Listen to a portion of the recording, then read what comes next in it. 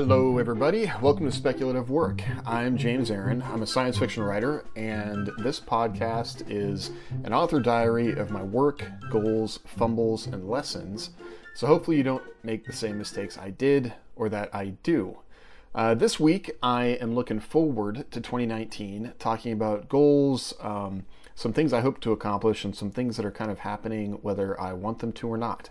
So, Uh, it's a podcast that I hope to look back on in the future and be able to compare some things, and we'll see how the year turned out.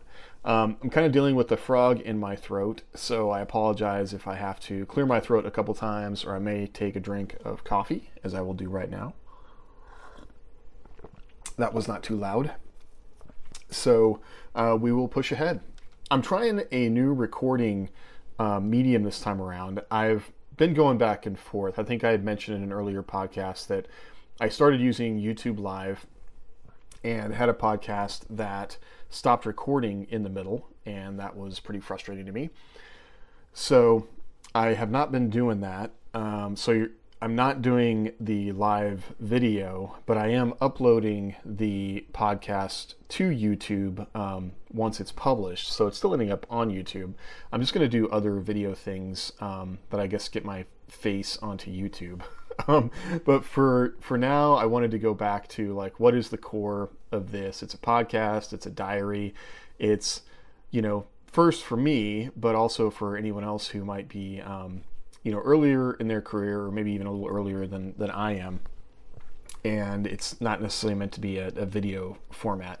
But so I've tried a couple different ways to record. And right now I'm using a Tascam DR05 which is an audio recorder that records in stereo. I actually got it to do like live music stuff. Um, but I had recorded a couple other things with a little Sony um, digital recorder that I had and I'm finding that this is just much cleaner and for most things, you know, audio wise, it's easier if you've got a clean input to start with. And because I'm not recording in, you know, a muffled silenced room or a sound booth or anything, so far this is sounding pretty good. But I'm going to do some more uh, experimentation with how I can, you know, make the podcast sound better. Um, so we'll see how that goes. For now, it's pretty easy, although it's kind of like bulky and awkward to carry around. Um, but oh well, we'll deal with that. So first, uh, let's have some updates. Um, since last week, again, this has been a holiday week. I've been off from work, although with my job, I still do plenty of things while I'm not physically um, at work. So, though, you know, I answer the phone, I answer email, um, respond to things, that sort of deal. Uh, it hasn't been hugely demanding, but it has been ongoing. I have been struggling to get writing done and really only got good words down three days out of last week. Um, the rest of the time was a lot of, you know, Christmas Day, family stuff, people coming over, um, baby stuff, and it just wasn't quite as productive as I hoped it would be. Uh, according to my writing plan, I'm, you know, only about 75% of where I would like to be, but I think on the whole, I'm I'm in a good place with uh, the book and will at least be, you know, we have deadlines. They're always a little bit flexible based on the overall, you know, process of what's coming out for a given week or month or, you know, series of months. And and these books were going to be even a little bit different because I'm turning them in like uh, much farther ahead than when they're going to be coming out.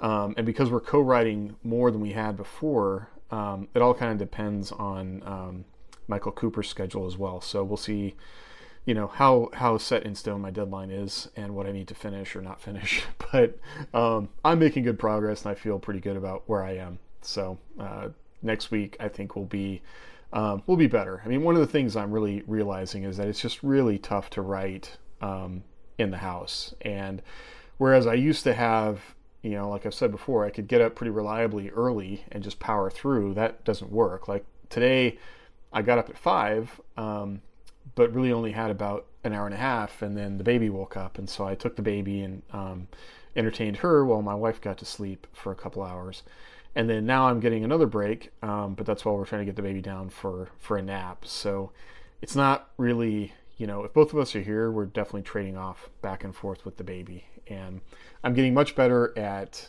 you know, keeping Word up on my computer at all times so I don't come back to the computer and get distracted and waste time um, with Facebook or whatever.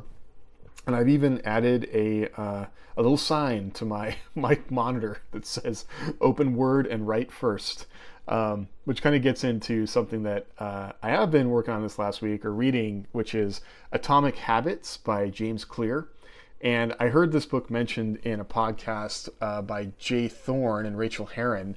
And he Jay described this book as um, the one of the best, uh, I think, best written nonfiction books that he had ever read. And um, he's right. Like this book is on point. Um, it really jumps right into the subject. It's well researched. It gives you the background on all the various ideas that um, he brings up, and it's all about you know good habits, bad habits, what habits you have in your life, and then how to uh, like decide that you want to develop a good habit, and then make your kind of make yourself the kind of person that does the things that you want to do. Um, so just in some small changes, and I've already seen some results. I'm not even done with the book yet, and um, I've had some positive impacts from it. But also, my wife and I have been talking about it quite a bit, and she's going to read it. We've also been just talking about it. Um, but we're seeing how like we can kind of mold our environment to be uh, to support the things that we want to do. So that's been that's been positive, and I've been reading the book out loud to the baby when I'm trying to get her to sleep. And uh, of course, she has no idea what I'm saying, but it gives me an opportunity to read the book um, and, you know, entertain her at the same time. So that's been a thing that's been happening last week. Um, another toy that I got for Christmas um, was a camera gimbal, which is um, it's a Smooth Four by Zhiyun. I'm probably mispronouncing that, um, but basically what it is, it's a a tool that you you know basically like a gyroscope, tri- a handheld gyroscope that you can put your cell phone into and use it to take video. And I had been wanting something I could you know use for video um, you know videos like this i'm going to do readings things like that. I could also use it for home videos which would be fun. Um, but i've been doing a lot of experimenting with that and while i haven't figured out the best way to use it for personal videos you know like this podcast or readings and whatnot i i will get that figured out. And so that, that's been a fun thing to experiment with. Um, and that was last week so it, it feels like it's just flown by. You know, one of the things about doing something consistently like, you know, this podcast is that as soon as you know three days go by and okay it's it's wednesday it's thursday it's time to think about what i'm going to talk about for the next podcast it just feels like barely any time has gone by at all and it makes you really aware of how much time slides by if you're not being um, intentional about it and uh, that that's good. It's also a little scary, you know, because it makes you really aware when you didn't get things done that you wanted to accomplish, and how granular you can be about your time. Like, oh, I just let a whole day go, and while for me, like I certainly accomplished things that day. I cleaned out the gutters, I played with the baby, I took the dog for a walk. Um, still, it's uh, it's easy to feel uh, like you're not accomplishing the things you want to accomplish. So um, I'm I'm adjusting to that, and this is definitely something I want to continue doing because it's important to me to um, capture these feelings so that when you know I'm staring at Facebook, knowing I should be working, I can help remember the fact that last week I felt like I was wasting time on Facebook. This week I'm not going to make the same mistake. So stop that.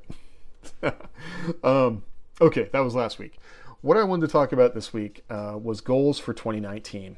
And it's funny when I when I sat down to write out what my goals were, I thought like there's not actually that much. Like I've already mapped out five books I want to write. That's going to take up a lot of time. I've got some uh, professional goals I'd like to accomplish at work. It's it felt like it wasn't a lot, and then I started writing the things down, and I didn't actually count the list, but I want to say there's like 25 things on this list. and I I don't I'm not going to go through every single one of these things. Um, but it's it's interesting. I mean, I think that, you know, if you sat down and you list out all the things that you want to accomplish, um, even breaking them down into um, you know categories, you'll find that uh, it can it can be a way to kind of overwhelm yourself, and it can be a form of resistance where you're kind of like, oh, that's I'm not going to do that. That's too much.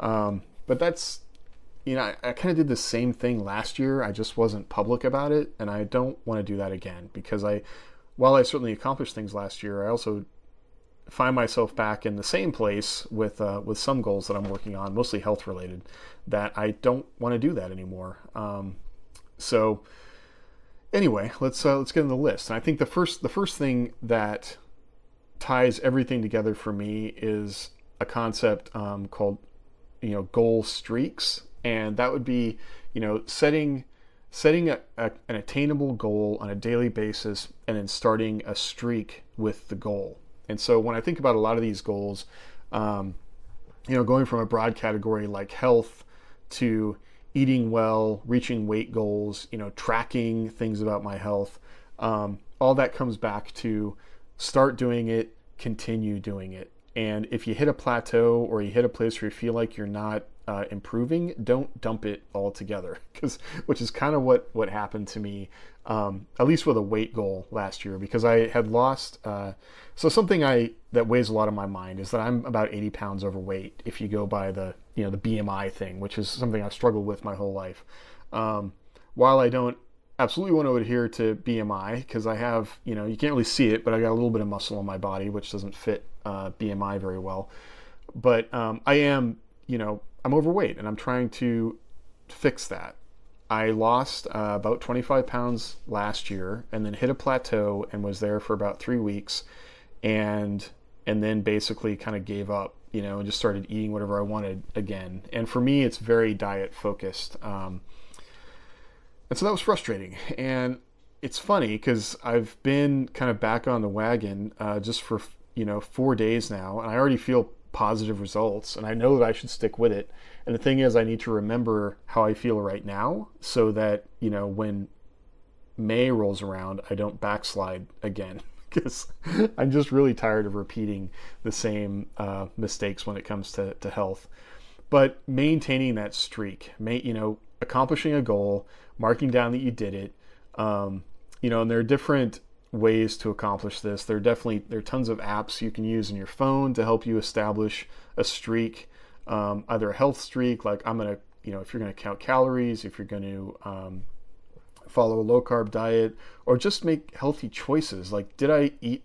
Did I make healthy choices today? Yes, I did. Awesome. That's a streak, you know. And then as you add those things up, that can become a mental block or at least a mental assist that helps you maintain a positive streak. And there are a few different things that I want to establish some streaks with so I can help maintain some consistency.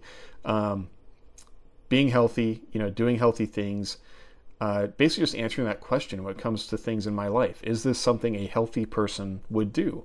That's an example that was in Atomic Habits, and it's very basic. Um, one of the ideas in Atomic Habits is that if you can just even make a 1% improvement in any given thing, making that over time becomes, you know, 1% becomes 2%, becomes 5%, becomes 10%.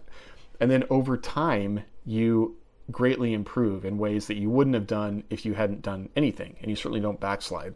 Um, and also that things are cumulative. You know, they they add up to the point where change happens, and then then you see the positive change. And for me, it's I can maintain a streak pretty well for you know four to five months, and then it's it's pushing through a plateau or pushing through feeling like I'm not improving anymore to seeing those um, those cumulative improvements that I, I have struggled with.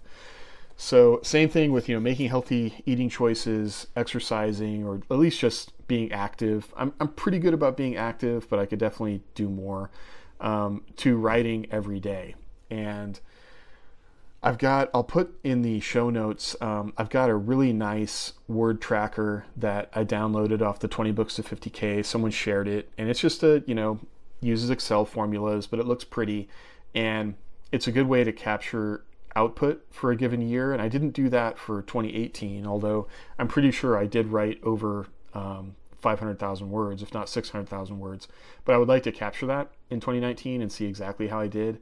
I don't get as granular as by, you know, time to write and time of day and things like that because at least right now in my life that's so um, chaotic with the baby that I don't know that it would really do me a lot of good. But I do want to track my daily word count and I want to establish um, a streak of writing every day, even if it's um, 100 words, uh, because I've I've been letting my writing time slide and I need to just not do that.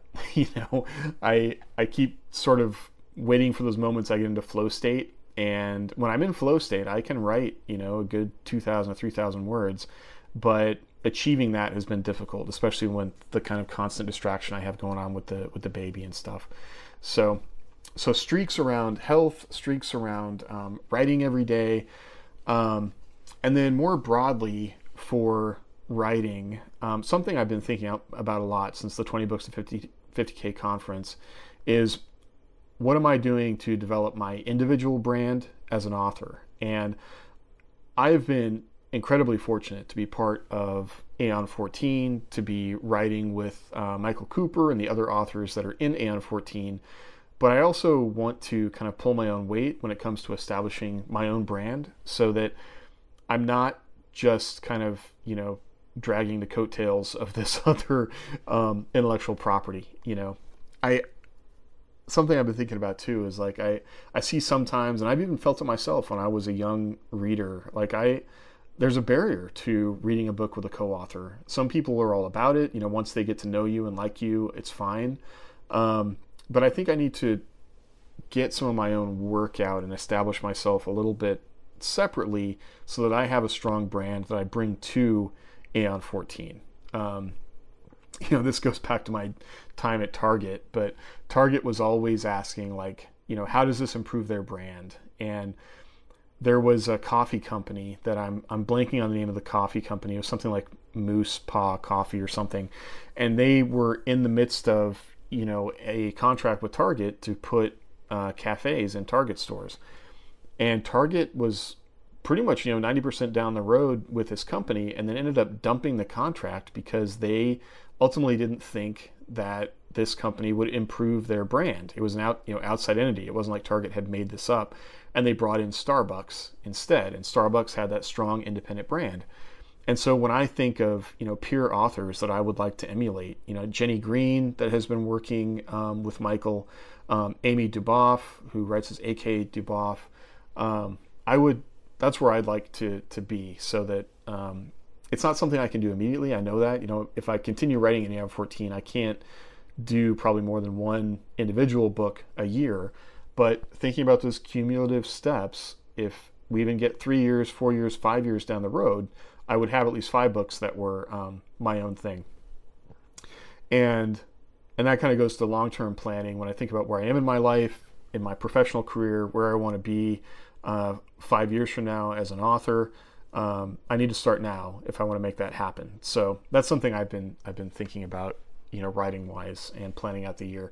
And uh, Michael and I have had some conversations around, you know, as he uh, kind of expands Wooden Pen Press and what it might be in the future. You know, there's space for individual projects that I might have to fit within uh, Wooden Pen, and that's really exciting. Um, so as long as I don't necessarily have time to do marketing the way that I think it should be done. Um, I feel really fortunate to be part of a group that can help me with those things. So, you know, basically doing the stuff that a publisher would do.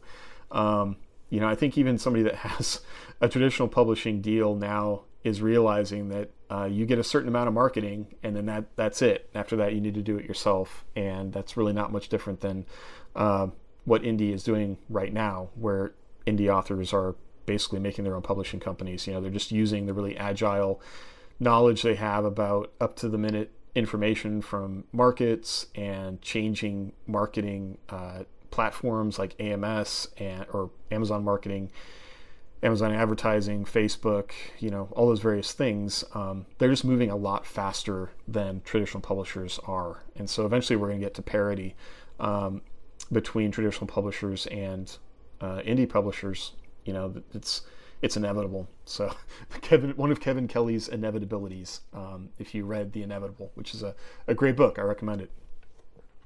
Um, so, thinking about writing and reaching financial goals. Um, I didn't really talk about finances in my 2018 recap, but um, I made $24,000 last year. Um, I expect that I may double that next year.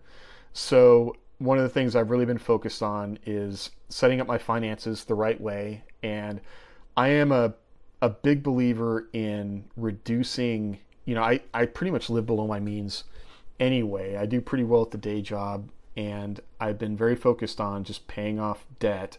I had uh, credit card debt from a company that I had tried to start. Um, and so I've basically been in the process of paying that off since 2013.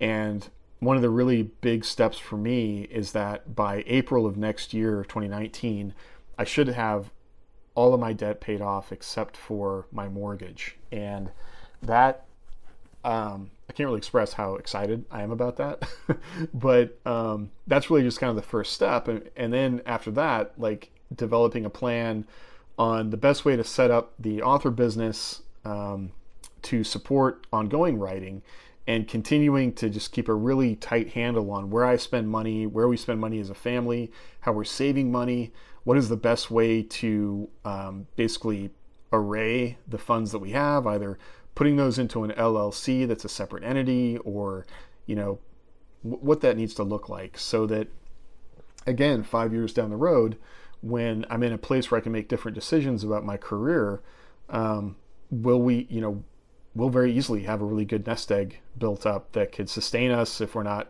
you know, maintaining an income. But then also, if I potentially reduce work hours, um, you know, we'll be in a good place to do that. I mean, if you maintain a lifestyle that's costing you, you know, a lot, then it just reduces your options when it comes to taking on uh, a job that you might love, but it doesn't pay as well, you know, or that's the thing about writing. It's just, it's not necessarily consistent money. And so, how do you establish, um, a lifestyle that supports inconsistent paychecks or you know and then again looking at multiple streams of income things like that. So i am that's one of my big financial goals for next year. I'm making decisions about how the business should be uh, configured. Just getting that debt paid off. I can't i can't wait for that. I've been i've been like planning this since 2013 when i had to make the very difficult decision to leave that business. Um, and that business still exists. And it's even now like it's in a different place than it was when I was there. And that is kind of painful. It's almost like a divorce to see, you know, your your ex spouse go off and do other things. Um, but that was the right thing for for me to do, and I feel really fortunate to be in the place where I am. Um, and the idea of being out from under that debt at this point is just um, it's an amazing feeling. So so that's uh, something I'm really focused on. Um, in January, I'm going to play a little game with myself where I'm basically going to try and reduce all of my Nitnoid spending that I do. I I love to buy gadgets. I love to buy dumb little things, and I'm going to try not to do any of that. Um, as part of making healthy decisions, I'm going to focus on you know not eating out. Uh, I have like one lunch meeting a week that I have to do, and beyond that, I can take my own lunches in, make my own food, and I'm going to do that and see how close I can get to just not spending money like that in January. Um, which again, because I'm so close to that, um, paying off that credit card debt, I I feel like this is going to be pretty easy because I'm I'm within reach of zeros, you know, all across my uh, my credit report. So I'm excited. Um, what are some other things? So I want to attend at least two events this year that are author events. Um, for Aeon 14, we've got Space Coast Readers event coming up in Cape Canaveral in June, and I'm really excited about that. I am really excited about taking my family with me. Um, I, I'm excited about them being involved in something that I get to do as an author, and just getting to do something cool that also kind of ties into you know a business event and figuring out how to do all those right things with you know writing off business trips and tracking that because um, I would love to be able to do more things like that. Like I love to travel, I love to see different parts of the country. So if we can do that within the author business, um, I want to figure out how to do that and, and do it right.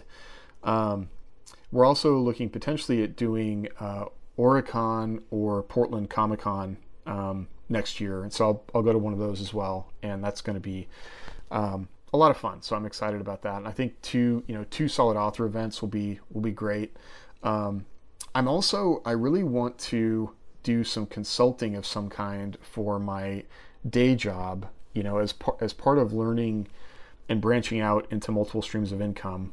And so that's something that I'm figuring out how to do. And I was able to have the conversation with my boss about that, um, and he's supportive of it. So that's a goal I have for 2019.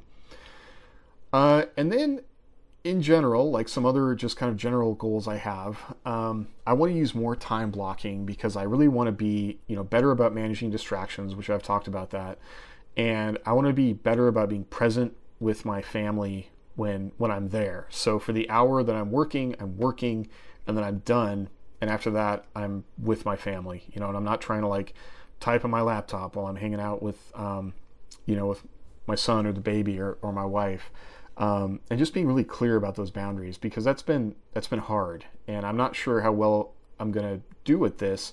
But some of the things I've learned out of Atomic Habits and some other ideas that, um, you know, again, I'm doing the lame thing of depending on January as the time to start this stuff, but um, it's just something I want to take a really a new a new crack at. And you know, admittedly, part of it's just as the baby schedule kind of mellows out and or sort of mellows out this this stuff. You just kind of have to roll with the punches, but it's um, it's definitely something I want to do. Uh, I want to do more audio and video stuff in 2019. I'm going to continue this podcast. It's been a lot of fun. Um, it's kind of fun watching the downloads grow, so I'm excited about that. And I would encourage anybody to do more audio and video. It's easy. And um, for me, I, I basically just was having a really difficult time blogging, and this is a way to get uh, information out there, share info, build relationships, um, provide value to folks, and it's um, it's easier than for me at least than writing essays and going back and you know obsessing over them. So I am not scripting right now. Obviously, you can tell from listening to this, but for me, the purpose is just to get information out there and kind of build relationships. Um, we'll see how formal I need to get as time goes on. Um, I want to do more readings. I really enjoy doing readings. Facebook Live is a lot of fun. I want to find ways to be more dynamic about it rather than it just being me, you know, staring into a webcam. So that's part of what that gimbal is about. I have an audiobook that um, I'm going to I'm going to read it and then basically produce it as an audiobook and use it as a reader magnet because I think the fans would love that, but it'll also give me something that I can use individually um, as an offer for folks signing up for the newsletter and also people already on the newsletter. That's about 25,000 words. I'm curious how long it's going to take me to do that and produce it. And then after that, I've got a book um, called The Proteus Bridge, which currently is not planned to be produced as an audiobook. And I think I would like to basically just make a plan and, you know, once a week record like an hour's worth and then see where I get in a year. You know, obviously, I think based on the size, it'd be about an 11 hour audiobook.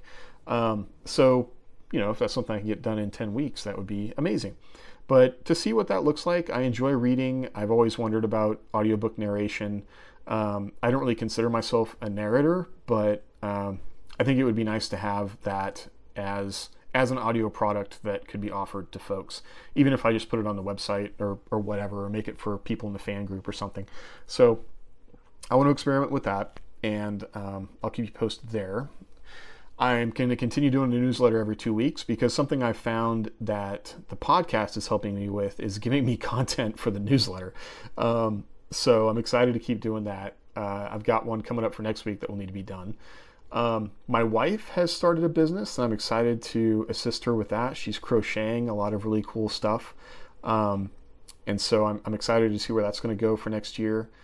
I have to paint my house, so I'll keep you posted on how that turns out and how, um, you know, I have these lofty goals of writing my own book, and the timeline for that looks like it would need to be July, August, but that's also prime time to do painting where I live. So we'll see what happens there. Um, and then 20 books to 50k conference in November. I'm excited to take part in that again. I'm uh, enjoying being an admin in the group, although I have to kind of take breaks every now and then so I don't get frustrated with like repeat questions continuously and and whatnot. But um, that's been that's been fun, and I would like to find ways to maybe be more involved in assisting with the indie author community um, as that comes up. So we'll see how that turns out. Uh, other things. So I'm going to get an office. We're making some changes around the house, and basically this space that I've been uh, in the previous videos, you saw that I was recording in the baby's nursery, and that was a room that we had set up um, for the baby. But now we've kind of decided to make some changes in the house, and this room is going to be an office. So I'm pretty excited to set that up, and um, I'll keep you posted on on how that turns out. Uh, but having a distinct place to work is not something I've ever had before, so that's that's exciting. Um, and then in general, I just hope to kind of reflect and organize uh, various things in the house. Like we've been we've been on this kick where basically we get rid of one box of stuff um, every week, and this goes back to just not buying gadgets and whatnot. Like I actually gave away a bunch of white elephant gifts over the holidays that were stuff I had bought that were great deals, but I didn't use, and so I guess it worked as a white elephant gift. But I've just kind of realized that I don't know why I'm am I buying stuff out of boredom? And am I buying stuff because I have a desire to like replace things I didn't have as a kid? Blah blah blah. I don't know, but I want to think more about that and be more um, intentional about the stuff that we have in the house, and especially if I when I think about like the space where I work um, and stuff like that. Like how are things contributing to you know me producing work? And one of the big things that I currently have is I've got a library of about 1,500 uh, books and I have not read, you know, even 70% of, or no, back, I've got that backwards. I've not read even 20% of those books. Like I went through a kick where I was so excited to have space to have a library. And then something I really enjoy is, you know, searching thrift stores for used books. Um, I've even at different times sold books online and whatnot but now I have all these books. And so every time I look at these books, it's like, oh, I should be reading a book every week. And even if I did read a book every week, like, how would I finish all these books that I have? Um, you know, and so what does that library represent in my mind? And is it dragging me down or is it uh, like an opportunity to be had? Um, so that's something I'm thinking about in 2019 as well and what I want to do with all that stuff. So, anyway, um, those are some goals. I'm it'll be really interesting to listen to this, and hopefully, I'm not just repeating myself again when we get into 2020. because that's one thing I, you know, I say that at work. Like I hate repeating the same mistakes over and over again. That's the one thing that frustrates me um, about working for a state agency. Is sometimes I feel like we do that, and that's the one thing I definitely don't want to be doing in my personal life and author business. Because if you're repeating the same mistake over and over again, you know, what's the common denominator? Uh, for me, it's probably me. So uh, I'll be giving that some thoughts. Anyway, uh, goals for next week uh, continue the current streak. We've started. I want to continue with it. Um, I've got another 20,000 words to write on Lunar Crisis, uh, which is the new name of the, of the novel. Uh, we'll see if that one sticks. Um, but if I can get there, I will be in a very good place as far as finishing this book. So um, I will continue plugging away. I'll be drafting a newsletter that will go out next Sunday. Um, and then I may also record an hour of uh, my, the novella Crash in Love and I'm going to experiment with a uh, audiobook or um, not an audiobook but a podcast uh, like service that cleans up audio. It's called Auphonic, and I'll put a link in the uh, in the show notes. I'm actually going to try it with this podcast and see how it does but supposedly it kind of automatically does all the levels and whatnot for you. And um, I don't know. I'm curious to check that out and see if that's something that could potentially be used for audiobooks because that is one of my worries with producing audiobooks is that I'm just not capable or have the technical skills to make it sound as good as it needs to. You know, it's one thing to do a podcast, um, it's something else to do an audiobook. So I'll be playing with that and some different other services. I I recently subscribed to the uh, podcasting subreddit on Reddit, and there's been a lot of great info in there. Um, there's so much you know blog spam out there about podcasts that it's hard to find good information. And so that was kind of refreshing to find that uh, that community. I'll share the link to that as well. So anyway that's everything for this week. I hope you have a great writing week. Thanks for listening. Again this has been james aaron. Um, the podcast is speculative work and i wish you happy writing. Until then i'll talk to you next week. Bye bye